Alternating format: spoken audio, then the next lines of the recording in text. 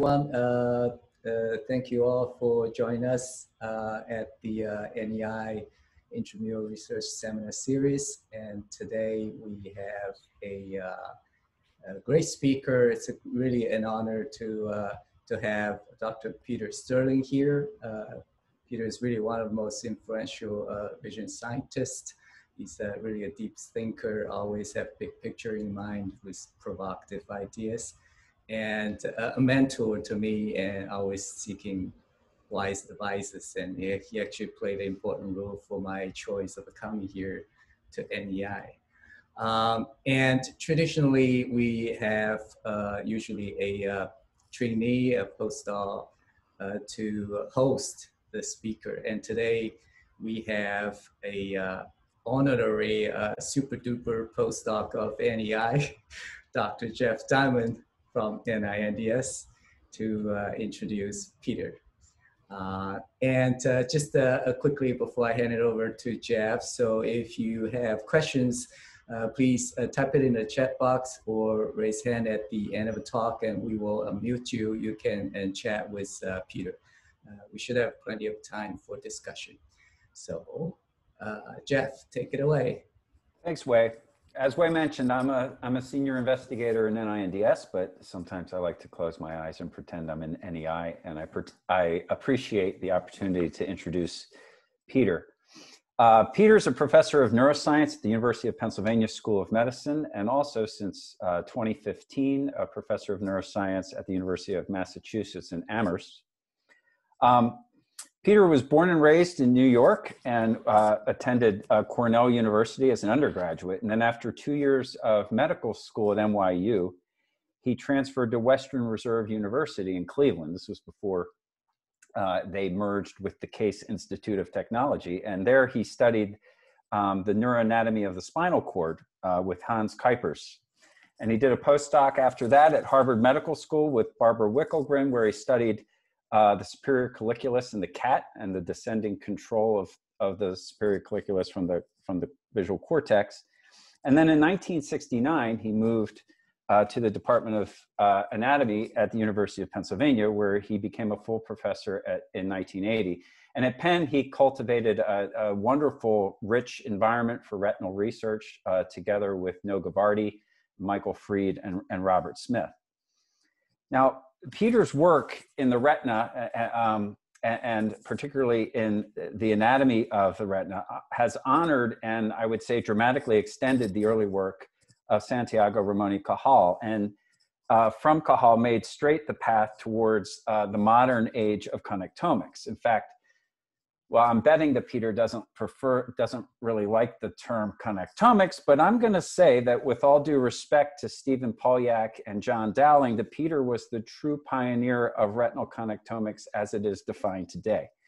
The challenge of connectomics, and, and we have one of the best connectomicians on the, on the call today, and Bryan Jones, is to examine and understand neural systems at all levels, from the detailed synaptic connections between each individual neuron uh, to the large scale network structure as it pertains to information processing. Now, in most fields, you could, you could draw an arc between these two levels of analysis, and underneath that arc would be uh, decades of work involving dozens of labs.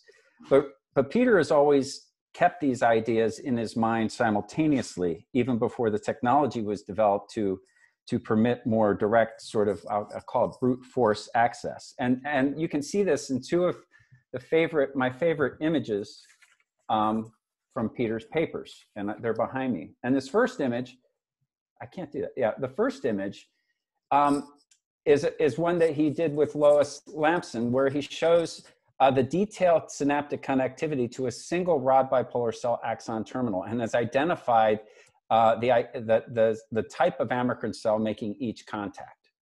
And then on this side, he shows beautifully the, the uh, simultaneous convergence and divergence of um, the retinal circuitry of, of, the rod pathway. Okay, so th this is the analysis of a similar part of, of the retina uh, at two very different levels but these two papers appeared less than two years apart. Um, and and he's he's had this ability to to study the circuit at multiple levels at the same time. I remember the first time I, I visited Peter at, at Penn in the um, the ancient Department of Anatomy building that I think was designed and built by Ben Franklin. And I sat down next to Peter and he showed me this enormous electron micrograph of Mueller cells uh, uh, surrounding um, photoreceptor synapses. And he asked me, he asked me why I thought this was happening. Now, of course, why is the hardest question to ask in science. And yet Peter pushed for this question throughout his career and he pushed further in his first book, which he co-authored with Simon Laughlin and is called The Principles of Neural Design. Now, the title of his second book, which he'll discuss today, begins with a what question, but I would, I would argue that it, it maintains this why spirit. Um, the book examines allostasis, which is the process by which a system adapts to stress to optimize energy efficiency. And these ideas have long been evident in Peter's work, and I think particularly of his work regarding um, visually evoked action potentials in retinal ganglion cells. Now, Peter may not know this, but he has played uh, a particularly important role in my scientific development. As a graduate student at UCSF in the 1990s, I had great relationships with several mentors, my, my advisor, Dave Copenhagen, and other faculty members on my thesis committee and so forth. But um, you know, as I read the literature, I, I painted a dramatic kind of mental image in my brain of the rest of the field. And it was a wilderness survive, you know, surrounding the safe walls of graduate school, right? And it was prowled by these you know intimidating figures like Dowling and Wässle and Miller and Sterling. But I met Peter in person and realized that those intimidating figures were also available to me as, as mentors. And so now, of course, I, I count many colleagues in the field as mentors, but Peter was the first. So Peter has won many awards for his science, his teaching, and his writing, including the Proctor Medal from ARVO, uh, the Boycott Prize, which is a career award in retinal neuroscience, uh, and the Prose Award from the Association of American Publishers. And he splits his time now, this sounds really awesome, between Amherst, Massachusetts uh, in the summer and Panama, where he is right now, I, I, I think. No, you're in Amherst. Okay. Um, uh, and um, the title of his talk today is What is Health, Allostasis, and the Evolution of Human Design. So Peter, it's a real pleasure. Thank you. And Peter, you need to unmute. Yeah, yeah. Okay. Good. Thank you, Wei, for inviting me and arranging this. Thank you, Princess, uh, for making this happen. And Jeff, thank you for this very generous uh, introduction. Uh, and I would say, uh, I have no objection to connectomics. I, I think that's fine. Anything that uh, attracts money is a good idea. um, yeah, so uh, I think I need to share my screen. Can I do that now? Yes, go ahead.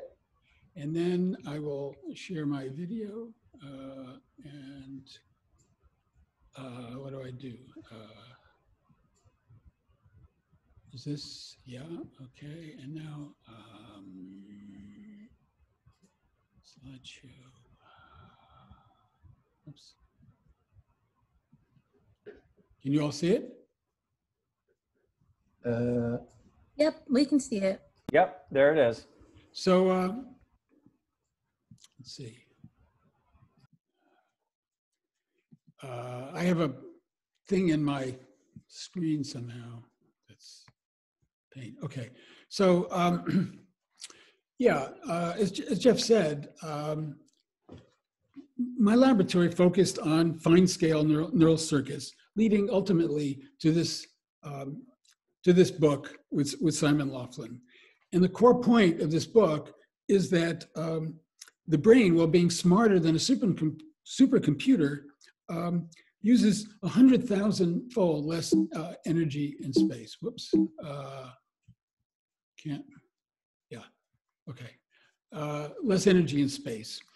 And the book explains uh, how this is fostered by, this efficiency is fostered by 10 principles of efficient design. Of course, since the body uses 80% of our total energy, it too must be efficient. And, um, and yet, the central concept of physiology, homeostasis, makes no reference at all to efficiency. Uh, homeostasis is supposed to maintain constancy by detecting errors and correcting them, like a thermostat. But efficiency requires preventing errors. So the brain predicts needs and regulates physiology and behavior to meet them. Joseph Eyer and I call this allostasis. And, uh, and with Jay Schulkin, I've recently updated the story uh, in, a, uh, in a summary in uh, Trends in Neurosciences. Now, my new book that uh, Jeff mentioned um, considers uh, health in, in, this, in a broader context by asking um, what does our species require for a healthy life? And can we achieve this by relying on drugs? And since we're constrained for efficiency, why did our ancestors, upon reaching La Cueva de los Manos in southern Argentina 11,000 years ago, uh, immediately uh, look for pigments, ma manufacture pigments and, and tools to spray these uh, gorgeous stencils? So, in, in other words, why did our, our brain, our species brain, invest in art? Now, uh, my NIH BioSketch uh, in Jeff's introduction explains uh, why I'm, I'm uh, qualified to discuss neural circuits, but uh, art and evolution, maybe not. So, uh, so, um, but the thing is, my grasp on these topics emerged from a, a tension between my laboratory studies and my social activism. And so the book and, and this talk uh, substantially how I've lived. So this was my first scientific report. Um, upon submitting it, I left Ithaca for Mississippi to join the Freedom Rides. And in, in this film clip, uh, I was, which I'm going to show, uh, I was on a train 10 minutes from Jackson, Mississippi, uh, in, whoops, uh, in the period of the Freedom Rides. So here's the here's the clip. You? Can you give me any of your feelings on why you want to take part in this? Well, I want to help establish the right of all Americans to eat together and to travel together. Why do you think it's your responsibility? I think it's every American's responsibility. I only think that some are more conscious of their responsibility than others. So uh, 30 minutes later, uh, we were processed. Now, um, The next, uh, I'm in graduate school uh, in Cleveland, as, as uh, Ohio, as Jeff said, uh, studying the cortical pathways to the spinal cord, brainstem, and spinal cord. It's the mid 1960s now at Western Reserve, and I'd slip away from my microscope um, to canvass door to door in, in Central, which was Cleveland's poorest black ghetto. And the people who answered the, the door, my knock, um, were often hemiplegic, limping uh, with a sagging face and slurred speech. And, um, and back in lab, I, I, learned that the proximate cause was destruction of these very pathways. This was hemiplegia due to a, a stroke that destroyed these cortical brainstem and spinal cord pathways. Uh, and the cause was uh, chronic hypertension. Now, um, I'd never seen stroke in the white middle class community where I grew up, north of New York City. But I recalled that before Central was black, it was a Jewish ghetto where my grandfather uh, had been segregated. And he too had suffered hypertension and an early stroke. So maybe hypertension was somehow related to social tension. Fast forward now to my own lab. Uh, oh, sorry. Before, as I was writing that summer of 1966, as I was writing my thesis, Cleveland, this Cleveland ghetto exploded in, in riots. Now, uh, fast forward a few years to uh, to my own lab, and um, I was I had my own lab, but I was still slipping away, but now to the library, uh, seeking evidence for uh, social social causes of hypertension and the biological mechanisms. I was also devouring ethnographic studies to learn how other peoples live. And soon I was slipping away to visit indigenous communities in Central America. And now, as Jeff mentioned, my wife and I live uh, half of each year um, in a community of subsistence farmers and indigenous workers in the mountains of Western Panama. So uh, here's what I've learned. First, uh, the blood pressures of foragers and horticulturalists, such as this Ngöbe family, uh, are low and steady with age. This uh, uh, here's a uh, this is a typical Ngöbe. I guess you could call it a cottage raised off the ground to prevent sleeping with snakes. here's a woman waving to us as we walk by. This this is on the Caribbean slope in, in, in the province of Veraguas. Um, and uh, it's two days walk from the nearest market. So people who live like this, uh, including uh, in South America, in Southeast Asia, and in Africa, all have low blood pressures that, are, that don't rise. But in the US, um, blood pressure starts to rise as children enter school. Here's age below, um, here's the uh, 140 uh, millimeters of mercury systolic, uh, and, and above this, you're considered to have uh, uh, be hypertensive.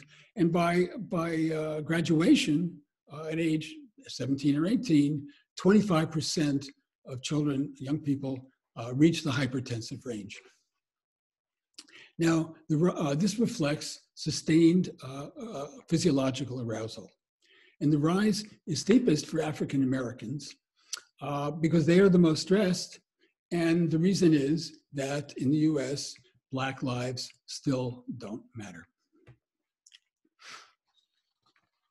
So here's a recording uh, of 24 hours. This is uh, noon, this is uh, midnight, this is noon the next day. And Uh, the upper traces are tra trace is systolic blood pressure, the lower is diastolic, and this is an intra-arterial recording from one individual. And what it shows is that blood pressure is not something you have, uh, it's a, something that's responsive to each change in mental state, very responsive.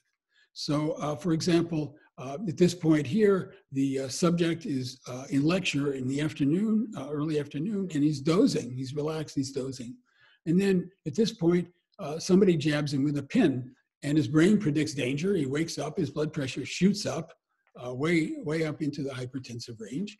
And then uh, he realizes, looks around, he realizes it's a prank and his blood pressure goes back down. He goes back uh, to dosing.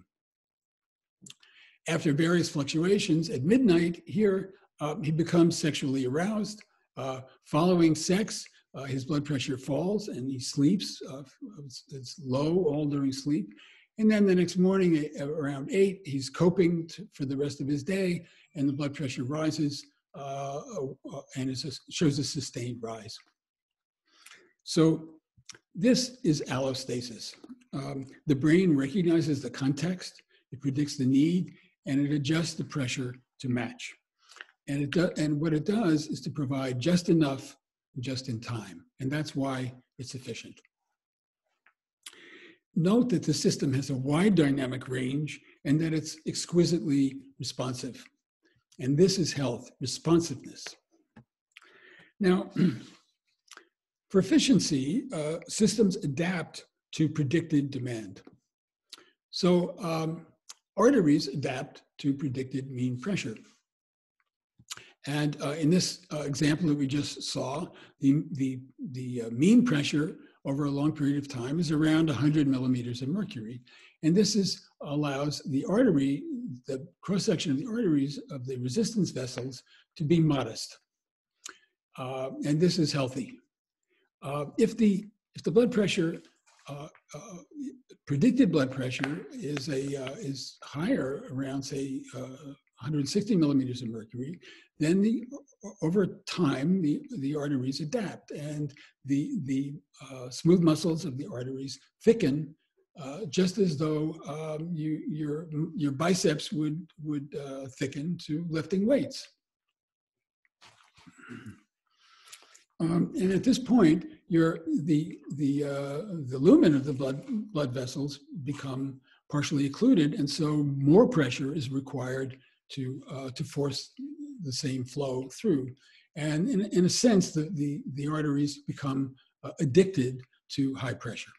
And this is established hypertension. So all, all mechanisms for blood pressure are controlled by the brain. Um, the brain controls uh, uh, the kidney, it controls the renin secreting cells in the kidney that uh, help determine uh, uh, either retain or spill uh, salt water and determine plasma volume. The brain controls the heart rate and, and, and contractility. And so together, and, and the power, uh, and so the power uh, plus the, the volume determine the cardiac output. The brain, the brain also controls the arterial vessels, controls their resistance. And the cardiac output uh, pushed through uh, resistance vessels determines, finally determines the, the pressure. So uh, the, the brain also controls, as we know now, salt appetite. So uh, we, it, doctors may tell you you eat too much salt, but it really isn't correct. Uh, we only eat as much salt as we need. The brain drives our salt appetite so that we take in as much salt as we need to maintain our blood volume. Now, uh, J.P. Uh, Henry, who studied this, uh, these uh, issues experimentally, concluded at, toward the end of his career, he said, uh, psychosocial arousal uh, induces salt appetite, making a society's salt consumption a measure of its social stress. Now, drugs can block these mechanisms, um, but uh, yeah, so a diuretic, for example, uh, will cause the kidney to spill salt water and, and, and, lower blood volume. But the brain knows where the pressure it should be. It wants the pressure to be. So uh, it, it speeds up the heart. And you can block the, the heart rate with a drug, beta blocker, and prevent the heart from increasing its rate. But the brain then uh, constricts the arterial vessels, resistance vessels. So uh, you can ultimately block that as well with another set of drugs. And uh, but the result, uh, and so you can gain control of the pressure, but now you have a system that can't respond to new to new predictions, and that is what uh, health is requires, and that is what that is allostasis. So you can block the possibility of responsiveness, and um, I, w- I would so uh, the, yeah uh, I, I, would say that I, I frequently go walking with men my age. A lot of them are on uh, beta blockers, and they do fine uh, for one good reason or another. But when you come to a, a, a slight rise, a hill, uh, they have to slow down. So the other thing is that all of these drugs, and the example here is a beta blocker, affect many points. Wherever there are, there are receptors for the, for the drug, uh, there are effects. So the beta blocker, in, in addition to uh, slowing the heart, raises blood glucose, and that exacerbates uh, type 2 diabetes, and uh, uh, uh, which is a problem with hypertension. And of course, you can treat that with more drugs, and those require more drugs. And the result is a basically an ill patient who is uh, precariously stabilized by polypharmacy. Now, um, I'd like to consider a shift gears uh, from this low-level discussion to some broader issues. Uh, as Jeff sort of warned you, I might. Um, so I'd like to consider some problems with U.S. health. Uh, first, uh, and then I would like to connect these to aspects of our neural design, and then discuss briefly what we need to do. The US death rate uh, is rising for all causes for, uh, for white people. Okay, so this is the age adjusted mortality rate for uh, a particular cohort of middle aged people around 50 years old. And what you can see is that uh, whoops, uh, for quite a long period, uh, the, the death rates were coming down along with the, the death rates in Europe and Canada and Australia. But about 25 years ago, they started to rise. And they cross all of these uh, other um, countries. the, the, the rise is steepest for um, uh, drugs, alcohol, and suicide. And this is from 1990 to, to basically to 19, I mean, sorry, uh, 2018. And uh, this is just for US uh, whites of, of a middle age uh, cohort, born 1970. The rise uh, is steepest for males, four, five, fourfold greater for males with no education beyond high school, and that is about 60% of white males. So, um, yeah, and so uh, the other thing is that this uh, this problem gets worse for each younger cohort. Okay, so uh, this is age, uh, this is deaths per 100,000 for drug deaths for drugs, alcohol, and suicide. And the uh, in the early uh, post-war period, as people got older, there really was no problem with with despair, um, and uh, they people weren't dying of this. But now look at this. This is the 1970 cohort, people who are now around 50, and they cross the the uh, they cross this 100, 100 deaths per 100,000 at about age 45. But if you look at uh, the 1980 cohort, who people who are now around 40, uh, they're crossing this line of 100, 100 deaths per 100,000 around age 35. We also have obesity rising from food, foods of despair, rich, uh, uh, greasy, fatty foods. And um, uh, and of course, a lack of exercise. We also have uh, mass shootings, which start around this period and rise steeply over the last um, 20 years. And uh, I call these murders, murders of despair. Um, and th these are, this is a, a despair that gun control will not cure. So, uh, so what causes our collective despair? And here I would like to consider two features of neural design. Uh, first, uh, we evolved this very large brain. The human brain is three and a half times the size of a chimpanzee's, um, which is our nearest uh, living, living relative. Uh, the chimpanzee can, can forage over six kilometers squared. A human over uh, 12,000 kilometers squared. And um, the uh, this is but so this is foraging productivity against age. Here's age, and here's the net production of calories per day for an individual. And uh, this curve is for a chimpanzee. It shows that the chimpanzee is, is born fairly helpless, but by age five, it's feeding itself. And then uh, it, its productivity rises uh, and peaks at about age 15.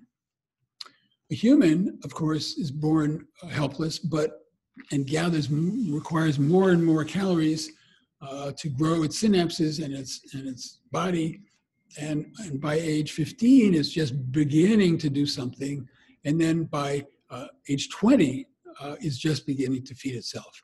And I, I, I like to say, if any of you, the audience, have uh, adolescents uh, or uh, young people around 20, uh, you need to have patience. You can, you must have low expectations because this is the way we are. Having been able, once you humans are able to feed, were able to feed themselves by gathering and hunting, their productivity increased over a 25 year period until their, their middle late 40s. And then there was a slow decline uh, over, over the next decade or so. And but after, by age after age 60, they're still producing uh, net producers uh, and helping out the community. So uh, what this means is that for 200,000 years of our species' existence, gathering and hunting were challenging careers that required prolonged study and practice. Uh, this is a really tough way to make a living. And that lent meaning to people's lives. The second design issue is that the brain obeys the principle specialize to conserve energy and space. Um, this, uh, this is a human brain parceled out by uh, the, uh, one of the brain projects.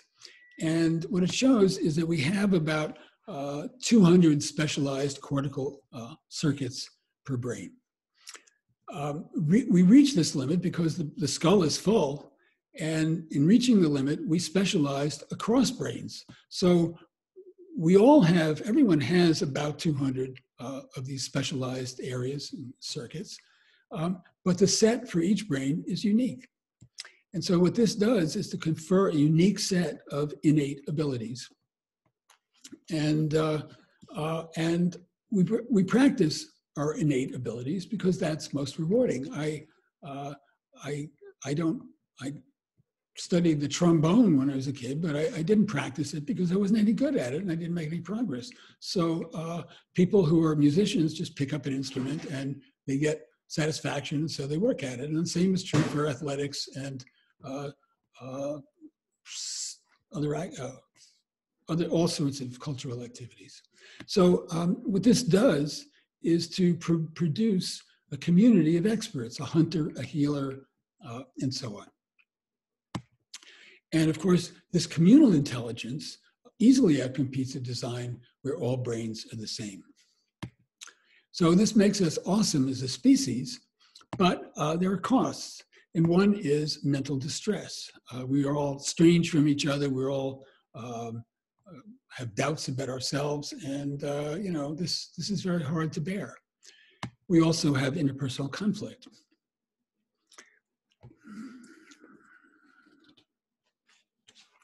So, and yet, uh, to benefit from this communal intelligence, we must somehow cohere. And this is achieved, our ability to cohere is achieved by various sacred practices. And that uh, I define as what words alone can, cannot express. So the brain invested in, in costly circuits that go way beyond foraging. Uh, for example, um, they invested, our brain invested in art. And uh, so uh, we invested in art. This is cave art that appeared, you know, fairly close to the origin of our species. We invested in music also uh, very early. And of course, what was not preserved uh, in, in the fossil record is storytelling and comedy and um, uh, dance and sex. So these all elicit uh, intense emotions of awe, grief, joy, and laughter, and these release tension and foster cooperation.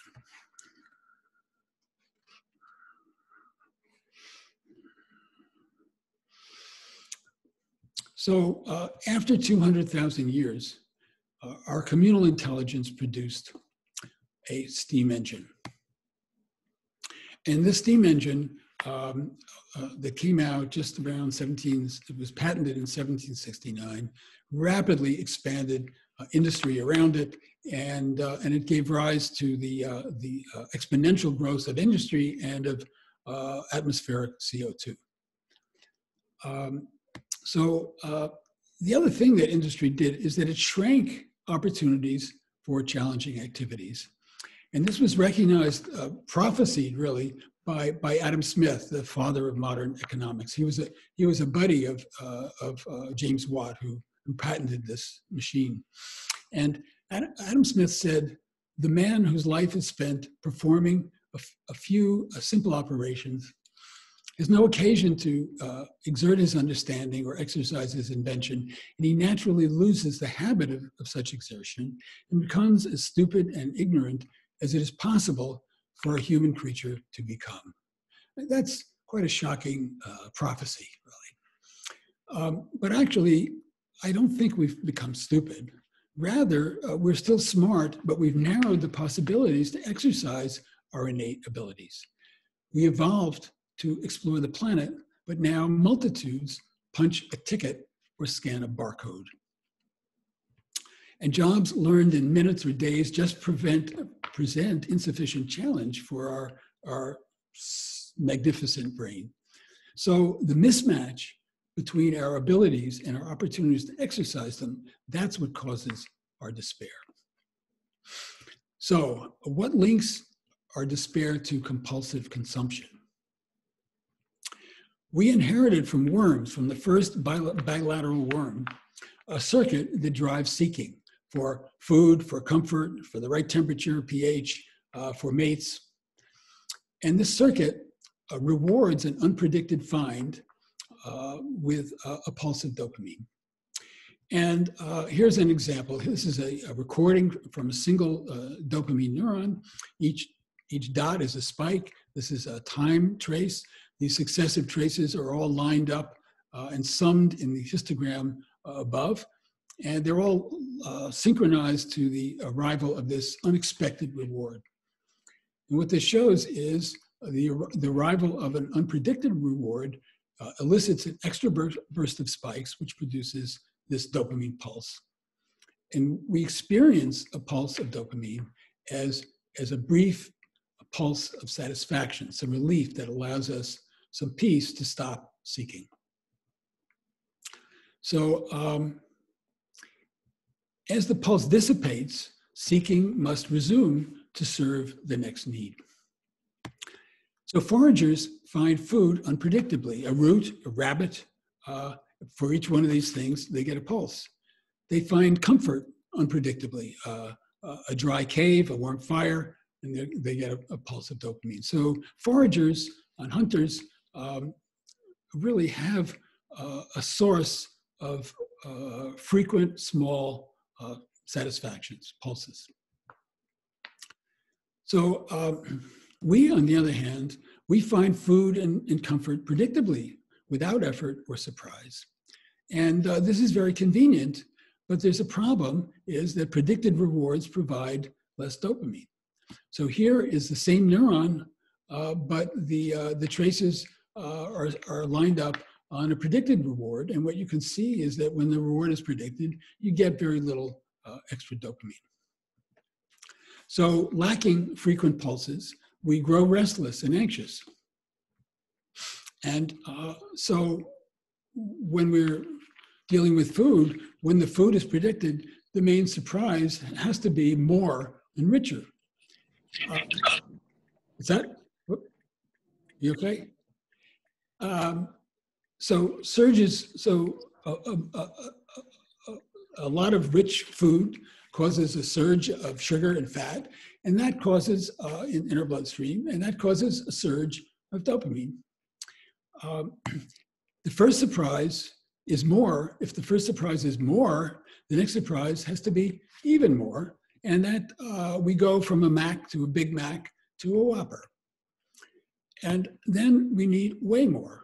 And the reason is, is that the brain adapts to all surges by reducing its sensitivity. The same story for drugs.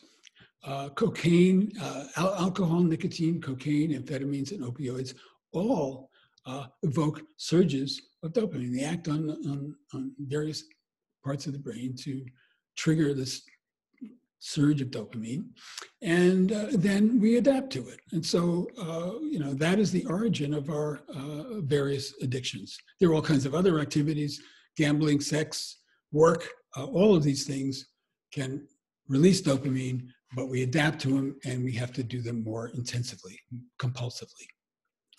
So, what to do?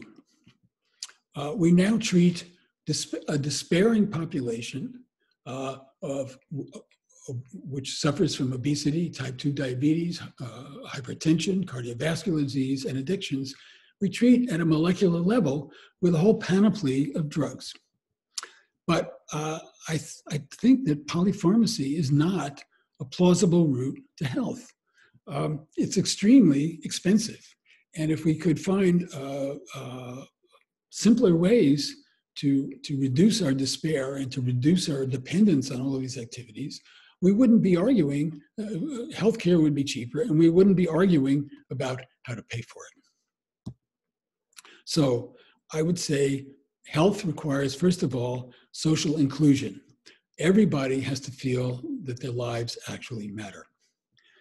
By reducing inequality, uh, we, we can reduce stress and despair and thus improve health for everybody.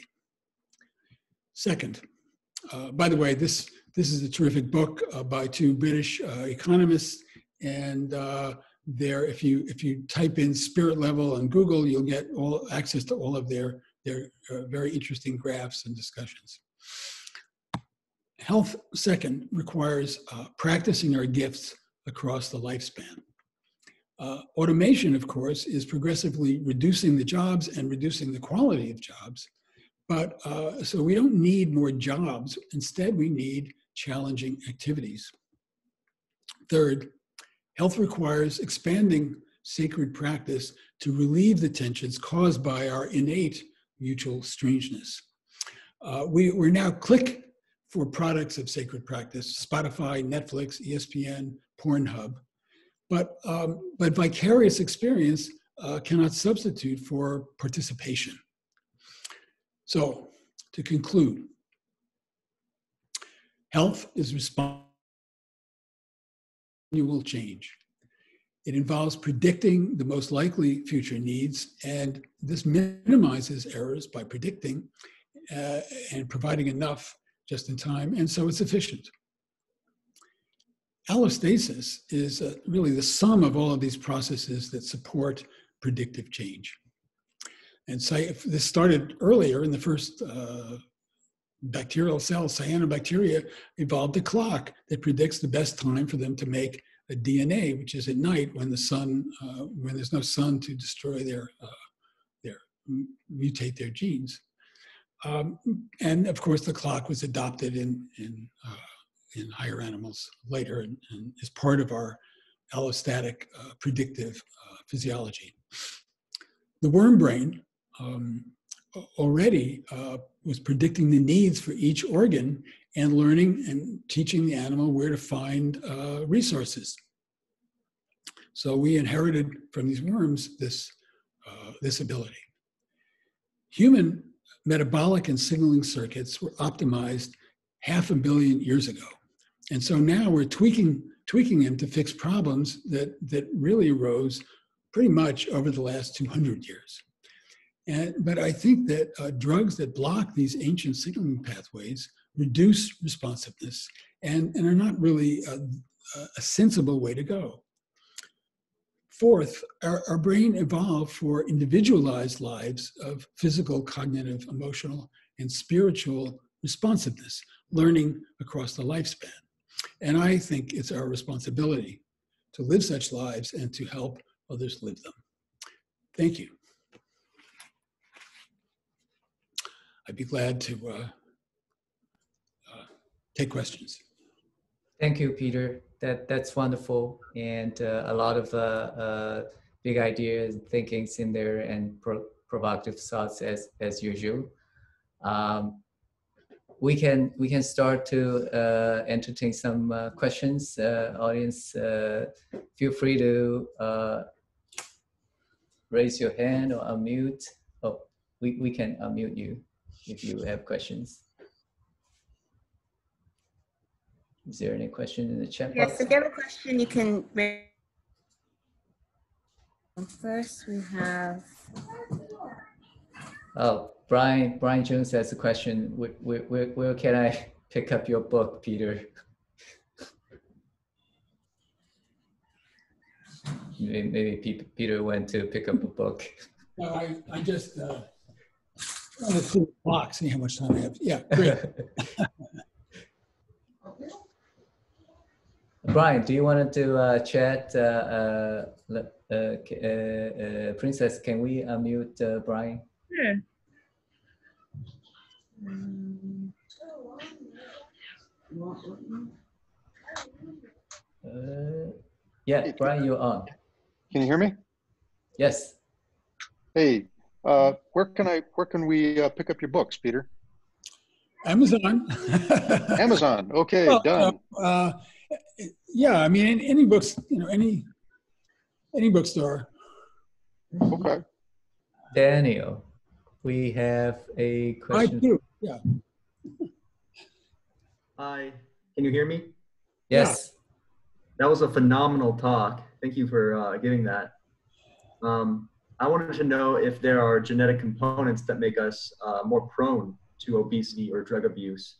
And uh, furthermore, I wanted to know uh, if you think genetic engineering looking at CRISPR-Cas9 um, will help us adapt to our new environment. Um, yeah, so uh, there's a part of this talk at the end that, that treats the issue of uh, genetic propensity to any of these things. And I cut it out because it, it was a little more long and complicated. But uh, the, the basic idea is uh, maybe I should, no, I'll just explain it. Um, many of, all of every trait we have, basically, uh, which starts with height, which is a very simple, straightforward one, but it would include propensity for addiction and diabetes and, and uh, hypertension.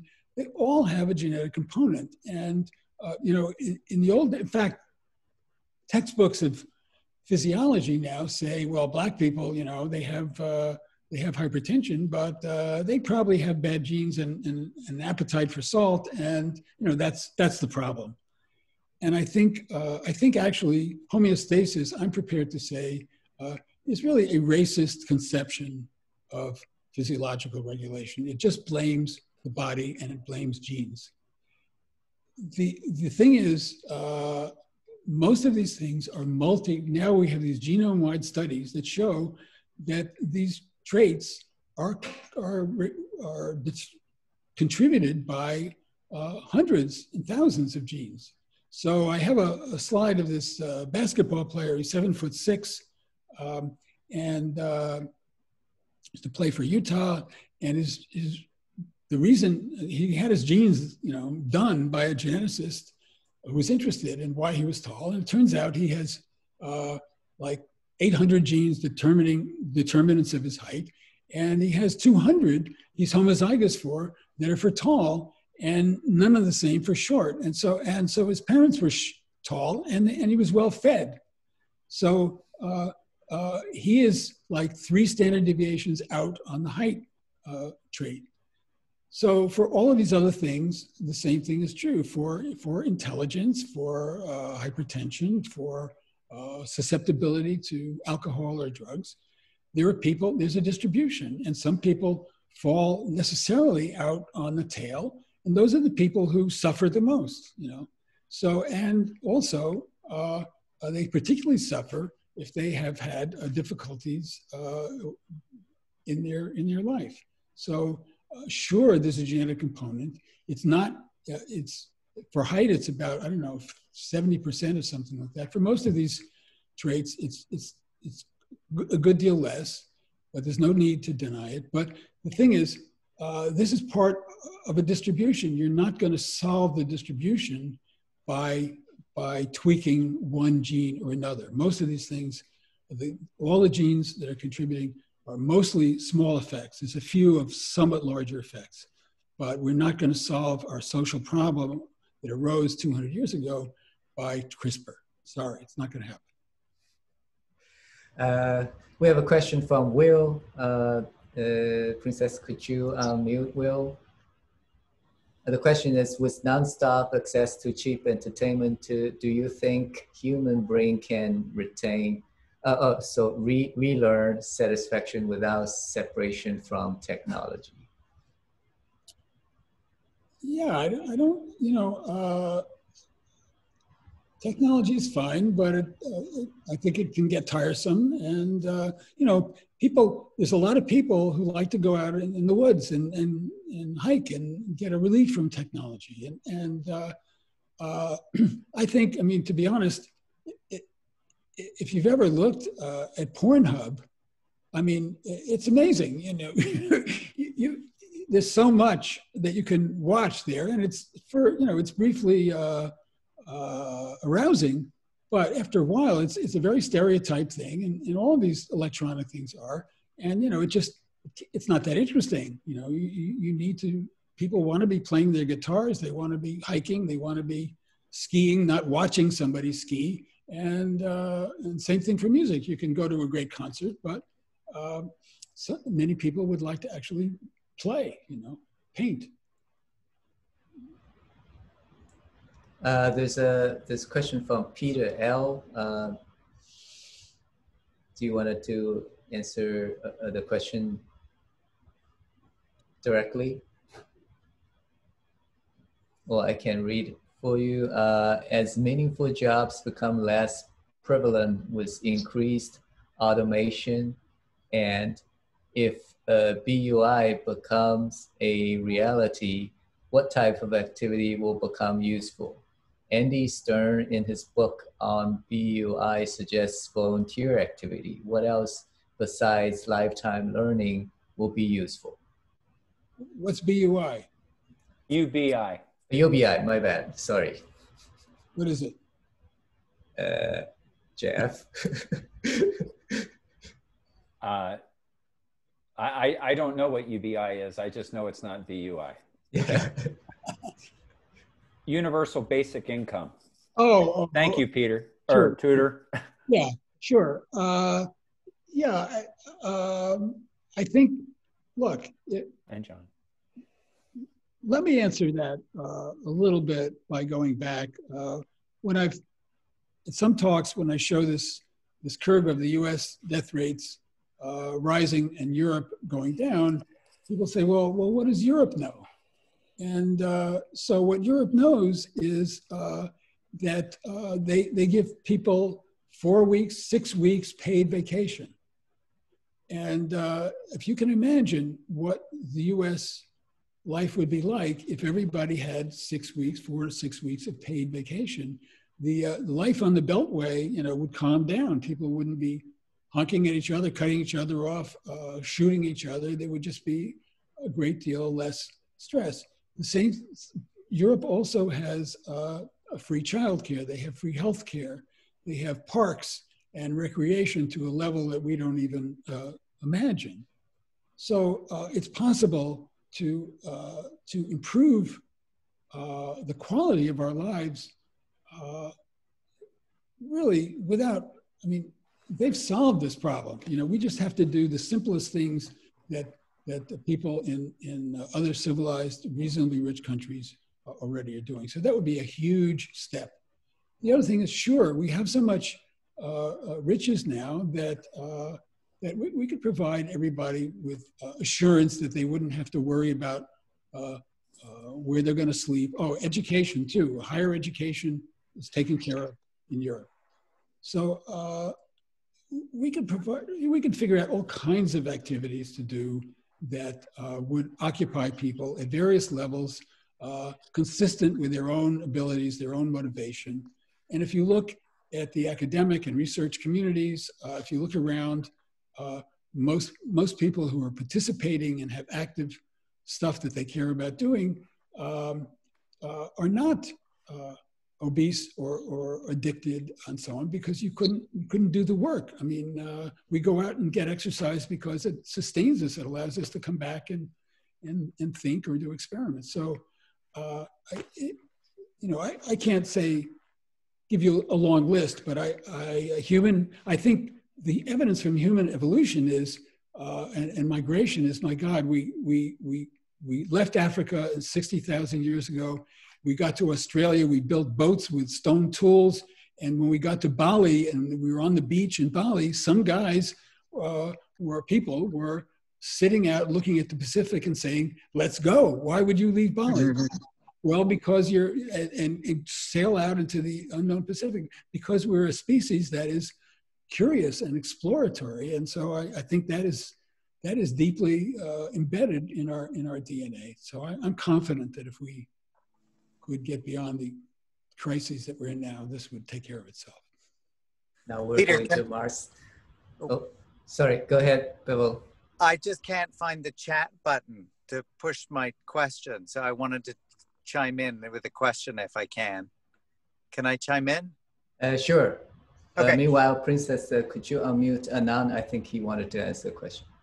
Peter, ahead, I, this this was a great talk, very thought provoking. I'm glad it's recorded. I'm going to send it to lots of my students. I do have a question. I mean, a lot of the things you're talking about, I mean, it's the, the impact of stress and so on on welfare, well documented. It, it sort of, I guess, there's a tension between the scale of the problem. So at one level, sure, that, you know, the use of drugs just blanketly used in order to control in a kind of reflexive way hypertension, for example, seems problematic. I mean, I think it's unequivocal, it is problematic. On the other hand, you know, you're going to get pushback from lots of physicians who say, no, I've got a patient sitting in front of me who has an acute problem uh, or maybe has a genetic predisposition for hypertension that represents the kind of, you know, this three standard deviations away from the mean in terms of the panoply of various genes for controlling hypertension. So maybe the, you know, maybe the problem isn't just the use of these drugs reflexively, but but really designing smarter ways of figuring out who needs them and when they need them and how to manage that kind of uh, almost in a holistic sense the the um, the care and so i'm wondering um, to what extent uh, you know you pick up that piece that sort of it's almost a you know i don't know it's a healthcare management piece uh, in your book and if you have some thoughts about that Sure. Well, I, I agree completely. I, am not, you know, uh, I'm part of the the uh, the NIH establishment. I've been supported by the NIH since I was 22, basically. I, am not going to bite that hand. But the point is that, and of course, there are people who, uh, for various reasons, get to an acute stage where they they can benefit from uh, from taking uh, one drug or another drug. Um, uh, but the question is right now we, we've built our lives around these drugs and, and the idea that uh, i mean almost all the papers that come out in, in cell I, I, mean i follow all of these journals now cell and neuron and so on um, they all find a new molecule and they say well this will be a good target for obesity well we're not going to solve i mean 50% or something or more of, of us population is obese it's, it's not because uh, they are genetically propensive. It's because they eat all this crap, you know, and uh, they don't move. So we have to reestablish, we have to have uh, physical education. I mean, when I grew up, physical education was giving a, a ball to the, the good athletes and having throw it at the bad ones, you know, and, and terror, terrorize them. There was no education.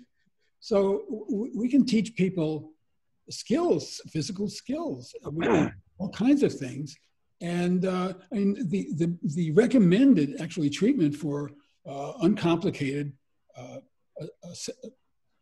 chronic hypertension is to lose weight and to exercise. Those are the most important things in reducing blood pressure. Then, if, if that isn't enough, depending on the person's age and, and other conditions, you know, you can you can give a drug or, or so. Uh, I, am not a I'm not totally opposed to that, but you can't use that as the main way to, uh, to make a healthy population. Okay, a quick question before Anand uh, from Ethan. Uh, what role does epigenetics play in these uh, allostasis uh, phenomena? Well, uh, you know, that's a very broad question. I, I, don't really have a good answer. I mean, we all, I, I recognize the existence of epigenetics, and that, but uh, I, I, think epigenetics is basically an environment a way to convey environmental effects uh, across a generation or two into the genome. And so, if we uh, improve our treatment of our our bodies and our minds, uh, that will be epigenetically received and, and will help move things forward. Okay, thanks, Peter. Uh, Anand, go ahead. Uh, you are on mute. You can uh, go ahead. Yeah. yeah, hi, Peter. This was hi. just a phenomenal talk, very philosophical, sort of at the boundary of uh, science and philosophy and everything else in between. So I enjoyed it thoroughly. I think your uh, ideas on uh, human adaptation and allostasis are really completely in sync with genetics in in old Indian uh, philosophy, we always used to say that you are basically what we call bhagya, means your genes, I would say, karm, which is what you do, and environment basically. So what you are is really at the uh, really the merger of genes and environment, and that can uh, basically explain almost all uh, complex traits uh, a, a, you know, in fact, and you can, you, you may not be able to change your genes directly, but you can change the impact of those genes And some of that could be through epigenome. And this epigenome that was just mentioned just now, it's really in a way form of adaptation. So, so, so I think I think all of these all of these concepts are really not mutually exclusive. They basically are talking about how to explain what we see. The question that I have really for you, so I, I, I really think that this was fantastic. And like Bevil was saying, I'm not going to send to my students who, who should listen to it on their own, but I'm going to send to many of my friends of my age, not in my field, but in other fields who are clinicians and all that. To, to, to and a lot of these wellness clinics and all have come up, you know, all over the country. And that's really part of what you are talking about. So it's very exciting. The question I have is, do you think that um, the spirituality and the concept of God uh, is part of this uh, phenomena that we have had during our evolution when we had uh, difficulties in explaining certain things and our tensions were rising or whatever. And this is part of that allostasis that we needed to calm down to reduce the stress. And by sort of putting it on uh, something which is beyond us, beyond comprehension, that we were able to sort of say, okay, you know, we don't have any control over it. So I think uh, what I'm trying to see is like Francis Collins has written a book about God and science, and I have sort of thought about it many, many times about how to explain and how to link the two. But your talk to me suggests that this is something uh, which probably may have been, in a way, part of our allostasis, coming back to to to to reduce that stress or the kind of things that we see that are beyond our explanation. Uh, thank you, Anand. Uh, you, had uh, there's a lot of point, number of points there uh, that I, to the extent I can still remember, I I, uh, I would try to address. Uh, first of all, thank you for your comments. Um, I would also, I, am glad to hear that some people will send this to physicians. One of my uh, concerns is I taught at a medical school for you know 50 years, and uh, one of my concerns is that physicians should hear something besides homeostasis, which doesn't connect the brain to the body, and, and they should take on this idea that the brain is really dominating our physiology, and and uh, and that racism is part of that, and that homeostasis yep. just get beyond racism it, it has to go. So that's one thing. So please do share it with your clinicians. Um, uh, I, I, would be very grateful for that. Uh, number two, uh, yeah, uh, spiritu- spirituality, uh, and this is in, I discuss this in, in the book, actually, in, in the introduction. Uh, which begins with a story about Oliver Sacks. By the way, Oliver, there's a new movie of Oliver Sacks that's just really one, inspiring, and I recommend it.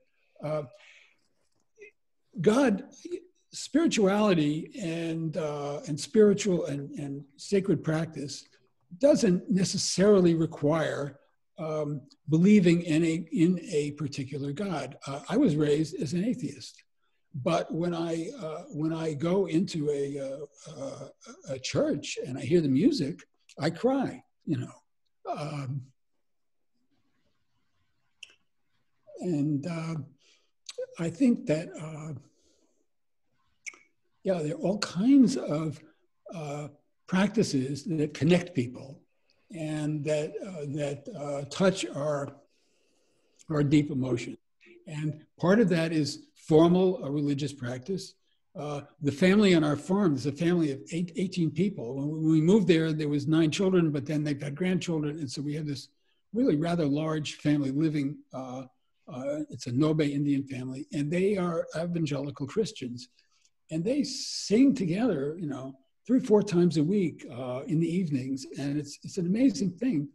And it, you can see that sometimes we go and participate. Uh, I've recorded um, uh, um, some sessions, uh, and they, you can just see that this is something that, that holds them together. Uh, you know, they, they have very specific uh, Christian beliefs, but but that isn't really the, the core thing. Yeah, everybody needs their some sort of practice like that. Yeah, it doesn't have to be any specific uh, uh, God or God's children. It's just a question of really uniting people along a certain belief that could could help them uh, sort of calm down uh, some of the daily routine stress and vagaries of life. Exactly, and and I think that this probably emerged with our species along with our, our art and our music. It's all part of it, and yeah. I don't think we could have been successful crossing all of these different environments without that. Thanks, Peter. Thank Thanks, you. Anand. Uh, a quick question uh, from uh, Michael. Uh, how do we get beyond this? And then maybe Sheldon, you can answer. That's how a big question. How do we get beyond? Well, let's start by voting. uh, voting, you know, uh, early, you know, I, I, won't say often because that's not a good thing. uh, well, I, I said to the, the my Penn class, uh, you know, they're in Pennsylvania, I said, you know, vote. And they all said, oh, yeah, we voted. I said, well, go out and recruit other people, get them to the polls. We, we need to, uh, you know, we need to attend to these problems. Uh, and most urgently, we need to attend to the climate issues. And uh, uh, yeah, I mean, this is going to be a, a, struggle, but I think this is a period of, I mean, I was uh, pretty deeply upset during the, during the, uh, the spring, all of the, uh, the police killings and watching these things was so painful. But I think I was encouraged by the, the, the fact that lots of Americans, including whites, got out there and, uh, and are rethinking things. And in addition to giving this talk on, on what is health, I'm being invited actually to, uh, to give talks about my civil rights experience uh, to children. I've, i talked to a Jewish day school in, in Palo Alto uh, last week. I talked to a, uh, a, university class in Panama, in my province, in, in Spanish, as best I could. Um, and uh, uh, I gave a you know, a little PowerPoint presentation to them. And uh, I think it's a period where people may be willing to rethink uh, broadly how we can how we can do better as, as a social society. Yeah. Thanks, I, Peter. And, and Michael, if you wanted to talk, uh, Princess, maybe you can unmute Michael. And, and, and meanwhile, Sheldon, you wanna you wanna answer your uh, ask your questions? Yes. Okay. Thank you very much, Peter. I really very much appreciated that um, your presentation. Uh, and I also was amused to uh, hear that uh, uh, we, we have this, uh, in a way, a kind of significant over, overlap in Cleveland on the east side and in the suburbs, so which I experienced both of, and there's many contrasts there to be made, but that's another long story. So, but mainly my, my question has to do with the things that you're touching on now, which, which is the sort of uh, evolutionary power of the family. Um, and that was the, really the basis of my question. And one of the, I, am very much interested in developing, having people think about uh, the possible therapeutic interventions, therapeutic interventions that includes the development of extended families uh, across racial boundaries in order to minimize or, or, or, or, uh, or re minimize, reduce, and remove uh, disparities of all kinds.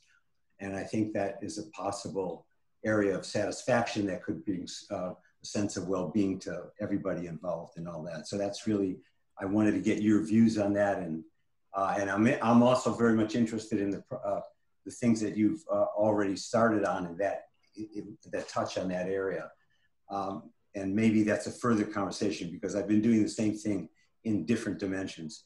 So um, that's another possible contact. But, um, but just to hear your notions about uh, uh, developing that one aspect as a kind of intervention.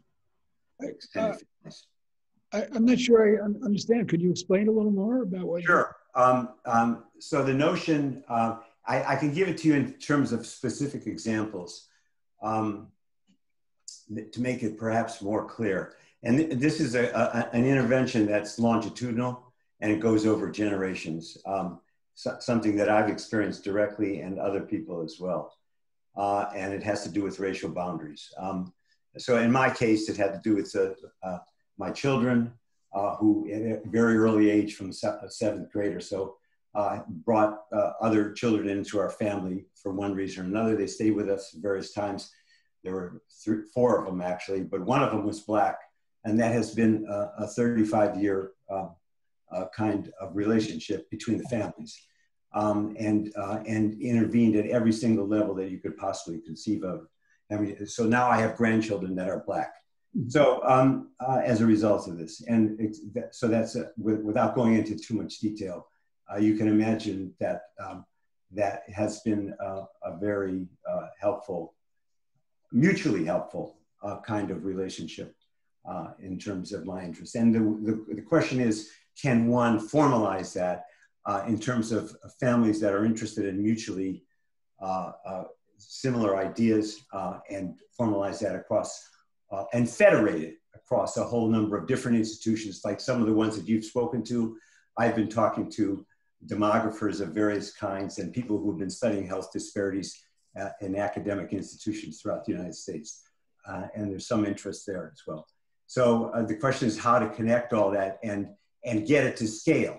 So that's another issue, a longer term issue um, that immediately comes to mind. But it's just the notion itself and how to get it initiated, that, that kind of behavior uh, um, so I was just wondering uh, about your thoughts about that kind of. Uh, well, it, it, sounds it sounds wonderful. I mean, and I, I mean, my principle is, uh, or two, I guess, get everybody together who you can, and uh, and I follow. I, I was uh, only three days behind uh, the late John Lewis getting into Jackson, Mississippi, and I, I I was trying to catch him all my life, and I never did, and uh, he was somebody I admired tremendously. And uh, his, his precept was get into what he called good trouble. You know, uh, I got into a fair amount of trouble in my life uh, um, for talking about these things. And I'm just sort of reflecting on some of them now. And, uh, but I consider it good trouble. And uh, that's what I think we have to do is we have to make right now some good trouble. I, I always admire folks like you, Peter, that uh, have a mugshot. but I bet if I got one, I got kicked back to China. yeah. Uh, yeah, yeah, you have to use sense, good sense. uh, Mike, I, I think you're you're on mute. You you you want to uh, converse with uh, Peter directly? Oops. Michael, are you online? I think uh, Michael might be uh, juggling with. You're uh, mute. I, I, I, it's really not necessary because Peter answered the question. Okay. Then Sheldon illustrated it with clear points. Mike, can you turn down your volume? Yeah. Does that help? Yes. Yes. Yeah. Um, I said it's really not necessary uh, because Peter answered the question and Sheldon illustrated it with clear examples. And I'm most grateful to uh, both Peter and Sheldon for that. Thanks. Thank you, Mike.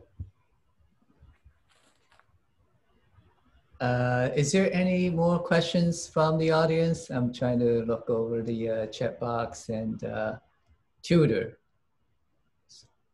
Uh, uh, Princess, could you unmute Tudor? And Ulysses has a has a question. Oh, oh, okay, yeah. As well. If you could unmute all of them. Hello, can you hear me? Yes. Yes. Okay, so from people that have experienced all this and have been at the front line of all this social struggle, my question, seeing this, you know, as a newcomer to the United States, is: Do you feel that the social segregation in the U.S. has increased or decreased over the years, along ethnic lines, economic lines, whatever lines you can imagine? What I didn't hear what you said has increased or decreased the segregation of social compartments across all these lines you discussed economic, ethnic, uh, all sorts of other, if you think religion, etc. Do you feel that has, has been progress since the 70s? Has it gone up and down? What do you feel that it looks like? I feel that there's been tremendous progress. I mean, the, the 60s, uh, I spoke to these uh, uh, elementary school students and they said, well, do, do you feel that you made a difference? And uh, the answer is absolutely, because uh, after the 60s uh, movements for, uh, for uh, bus, bu- the bus boycott in Montgomery and civil rights and voting rights and stuff like that, there was a tremendous progress of changes in federal law. But you know, uh, life, human society is goes two steps forward and one step back. So it's sort of a waltz, and uh, and you have to keep moving forward. But I mean, in my day, the only time you saw blacks was in some menial position. You would never see them on TV. You would never see them in the university. Uh, you know, uh, and now this is this is common. You would never see uh, uh, uh, uh an interracial couple, and now it's common. Nobody nobody fusses about it too much.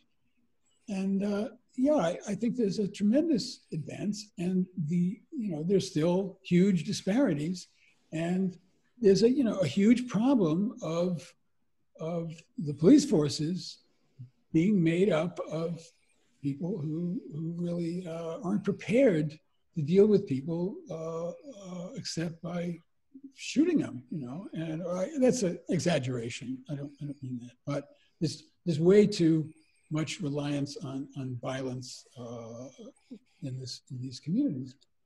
The real problem is, remaining problem is uh, uh, school segregation, which people had the fantasy, in the 60s, we could take care of by busing. Well, uh, it, it, didn't work. And the thing is, uh, people need to go, kids need to go to school more or less on the average where they are.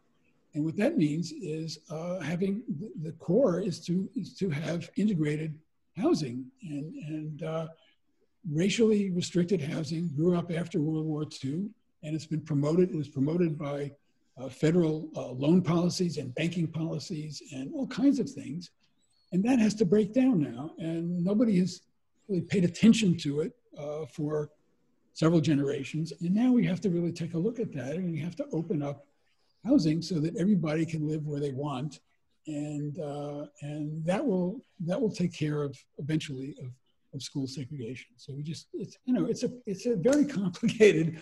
People are very complicated, and this is going to take a while. But I certainly think we have progress, and the progress we've made certainly warrants more effort. Thank you. And a question from the European, Ulysses, go ahead. Uh, hello, can you hear me? Yes. Yes. So uh, thank you very much for the talk, Professor Sterling. So I was wondering uh, how this economic system that we are living in is actually affecting the, the delay to, to reach a more fair and, uh, and human uh, based society. So that's that's was my question. Uh, uh, are you asking if I'm a socialist? No, no, no. I'm just asking if it's.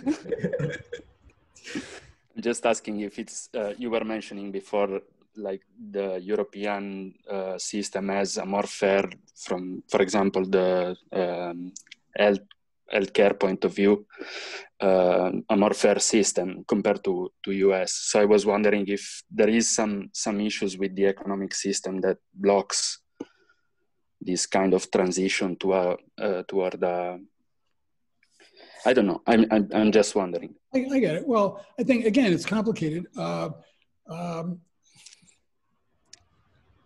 I, I, think it's not just our economic system. I mean, uh, at, at, the heart, uh, we have, we're capitalism society, and so are these European societies, so is Japan.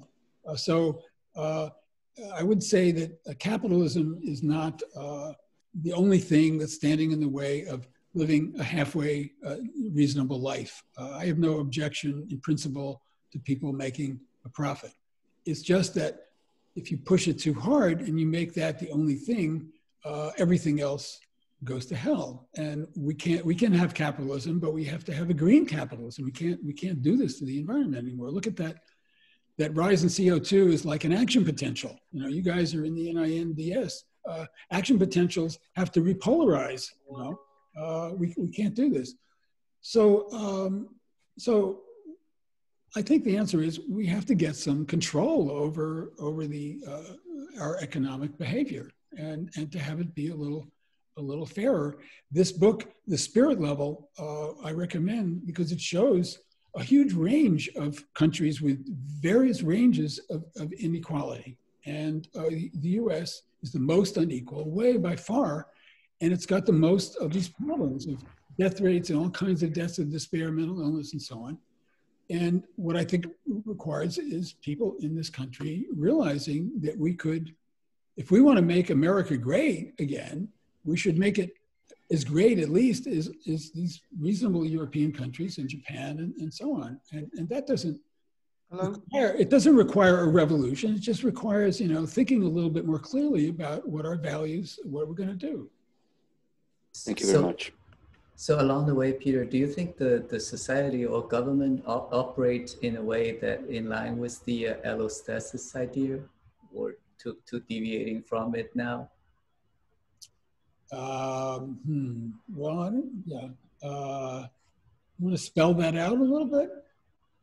The point being that this, this, the society or government uh, uh, sort of predict or optimize the, uh, the, the energy or resource in this case uh, in a predictive way, adaptive way, or we're kind of a, as you said, action potential shoots yes. Yes, I think it needs to. I think it has been only, it's been operating far too much on feedback, on, uh, on error correcting feedback. We make this error, we change something.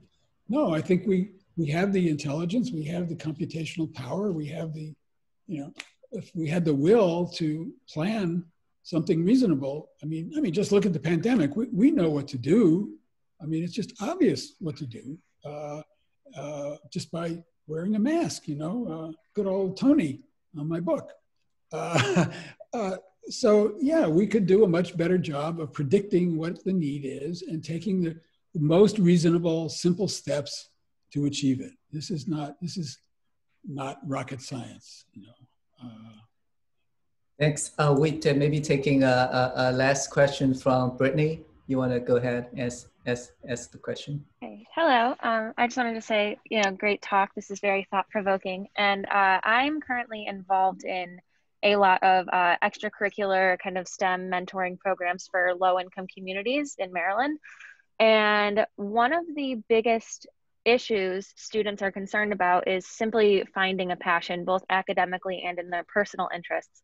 I remember uh, earlier in the talk, you mentioned that pursuing personal interests and academic interests is one of the key ways to reduce overall uh, life despair and reducing stress. Um, so, what do you think are some short term, high impact ways we can talk to today's high school students to um, foster passion and decrease this overall life despair that many of them are feeling? Oh, well, that's a great question. Uh, you know, um, I would say, first of all, uh, I would ask them what what their interests are and help them explore to things to find their interests. I, I would also say that uh, I think the practice of having herding students 30 40 50 students into a classroom and making them sit still uh, for hours at a time uh, in, you know in normal circumstances forgetting current pandemic uh, is about the worst possible thing you can do because what you're doing is you're taking uh, young homo, sapiens which have this broad distribution of talents and skills and you're telling them that none of those talents and skills uh, has any meaning. They just have to learn this stuff. And some of them learn it very easily and uh, quickly. And so it's like athletics for me. I mean, I never got any athletic education. And the people who may be good athletes but not so quick uh, to, to, uh, to learn to read are ignored and, and, and uh, badly treated. So I think we really could do well by uh, stopping this classroom one size fits all, making pretending that everybody can pay attention for an hour. My, I, I couldn't do it. My son couldn't do it. Uh, and uh, my son was always in trouble in class uh, because he, he, he, wasn't, when, when people have ADHD, which is like 20% of many classrooms of boys, they're, they're given drugs, you know, for AD, so-called a brain disorder. It's not a brain disorder. It's some part of the distribution that where the, the, the voice that's in the student's head is their own voice. It's not the they're not listening to the teacher because they're listening to something in their own head. So that was my son, and he went on to be a comedy writer because that's what he was. He was thinking of funny things, you know. Uh, so I think we need to find out what is in the heads of our young people and, and help them find ways to work on that. Another point is that, uh, which is in my book, is that um, uh, in, in earlier societies, children learned a lot from each other. And on our farm, there's, you know, any moment there's 10 kids of a range in ages from, from nursing infants up to, you know, uh, high school, college age kids. And they're all taking care of each other and they're all playing together. And, uh, uh, and they're learning from each other instead of being crowded in an age, uh, homogeneous age group where they get into fights and uh, and where nobody attends to to their abilities or interests. So so we have to do a we really have to revise our educational uh, practice. Thanks, Peter. I think I experienced firsthand through my early education in China that uh, uh, one rule fits all and sit still type of education. Uh, maybe one last last question from Tiziana. Go ahead. Yes, hello. Uh, well, first of all, thank you for the inspiring talk and the discussion. Um, so my question is, how would you envision a scientist uh, advocating for a better or a different kind of society based more on uh, based on the evidence that some of the values of justice and equality may also have a foundation in the way our brains are wired. So a bit suggestive that um, you know the common uh, uh, betterment is actually better for the individual, for example. Um, uh, so the particular question, can I, what is the question? The question is how can a scientist, how would you envision a scientist advocating for um, changes and or um, the better society um, based on the principles that the, the way we're, our brains are wired um, do justify, uh, do support the uh, sort of um, searching for uh, justice and equality. Well, I mean, ways. Yeah, uh, uh, big question. Uh, I don't really, you know, I've been so focused on just getting my the facts straight and assembling these arguments and writing them down uh, halfway clearly and interestingly. And uh, so uh, I haven't really thought about um, how to organize society to spread the ideas. Uh, in fact, I, I, had a fantasy when I published this book. Well, uh, I'll get on NPR and uh, uh, Fresh Air, and I'll talk, you know, publicly about this. It'll be great. Well, that that my publisher, MIT Press, said, you know, it's not going to happen. This is not a this is a book that's too difficult for the general public. This is not going to happen. And so uh, what I decided to do was uh, just to try to give talks uh, to my people, uh, the, the, uh, the, the, the, community. I went up uh, in last February, beginning of February, I went to, to UCLA. I gave a talk there, and then I went to UC Davis and UCSF and Stanford and Washington. And just as I finished my talk in Portland, with Henrique von Gersdorff. Uh, COVID burst on the scene, and and then we're back to to doing these Zooms, which is pretty effective actually. Uh, I've talked to Johns Hopkins and Lehigh and you guys, and I'm going to keep doing it. So, and I feel like I'm meeting. Uh, I'm trying. And the University of Pennsylvania, by the way, School of Medicine, has yet to acknowledge my book. Uh, has not invited me for a talk. Has not mentioned it on any of their publicity and I tried to uh, to urge the first year, uh, uh, the educational program to have students read it? No, that, no, we couldn't do that. So uh, my strategy is just to, uh, to deal with one talk at a time, a few students at a time. And uh, I hope to cross at least into the medical community. And, and I'm finding little ways here and there. Whenever I see a new thing on, on Twitter, I tweet, retweet it, and I'm, I'm just working uh, sort of on my own. And you guys uh, have to figure out how to, I mean, I uh, bring these issues to the attention of, of the society, of, of our various scientific societies, and uh, get them get them on the docket. Uh, if somebody in Society for Neuroscience invited me to give a talk, I, I do it. You know? But I'm uh, I'm you know I'm running out of time, so you guys are going to have to pick up the torch. And uh, I feel that the book at least is a is a document that you can uh, you can use and wave in somebody's face and say, you know, it's all here. Well, we, we can talk to the clinician. I think we can just replace the first part of your talk, uh, hypertension, with uh, glaucoma, and pretty much everything fits, right? The uh, the uh, the pressure and how how it changes, and even the circadian component of it. Uh, anyway, so that was that was great. Uh, maybe one short comments from uh, Bryan says uh, Steve uh, uh, Silberman's NeuroTribe book is great in talking about neurodiversity. Uh, well, with that, I, I guess uh, we, we, we could end our uh, today's seminar. And thank you, Peter, again, for a wonderful talk, really uh, thought provocative. We, we, we spent almost half of time uh, discussion on other different subject. And I think it, it, it's achieved the goal. I was tasked to add uh, speakers uh, dealing with uh, public health issue and uh, and, and it, this what you talk about can't be more timely here uh, with uh, discussion about science and health and social equality and and so it's just wonderful. Thank you very much, Peter. We Great. Really well, appreciate it. Thank you for it's so good to see you all again, Jeff and, and Wei, and, and very glad to be here. And, and thank you again. I, I, I enjoyed it a lot. So take Thank care. you, Peter. Thank you, Jeff, for the Thank you, nice Peter. introduction. Thanks, Jeff. Yeah. Bye bye.